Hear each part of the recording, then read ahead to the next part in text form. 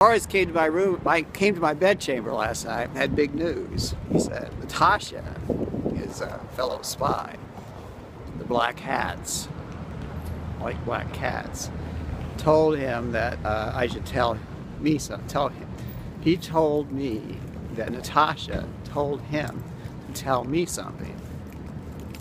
So he whispered in my ear and he said that uh, a favorite dog that he knows who's uh, training to be a super dog, like Superman, but a super dog with a cape and all that shit, uh, was anyway around uh, the time of Ken Kesey and the and the uh, Merry Pranksters on the bus uh, dispensing LSD Kool-Aid.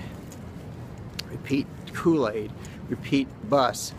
Repeat uh, RPG. Repeat uh, pull off the head of the RPG and you got a bomb.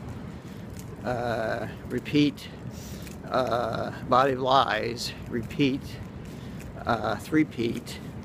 Anyway, and uh, Turkey and Greece, and of course, last but not least, which of course is the last thing,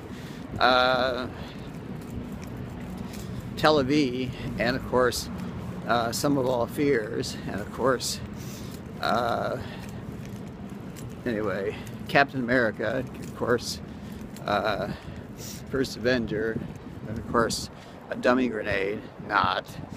Anyway, this is this is uh, Tradecraft 101, which I'm not very good at. and the other thing was uh, uh, BLA, which of course stands for black, no CK, no chicken. Anyway, if I want to be chicken shit, I'll run.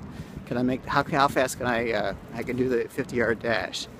I don't know if I got a got a tiger on my tail. Tiger in the tank. Olympus has fallen. Uh, anyway, can you play basketball? Can you do chin-ups? Repeat chin-ups. Um, are you a pussy?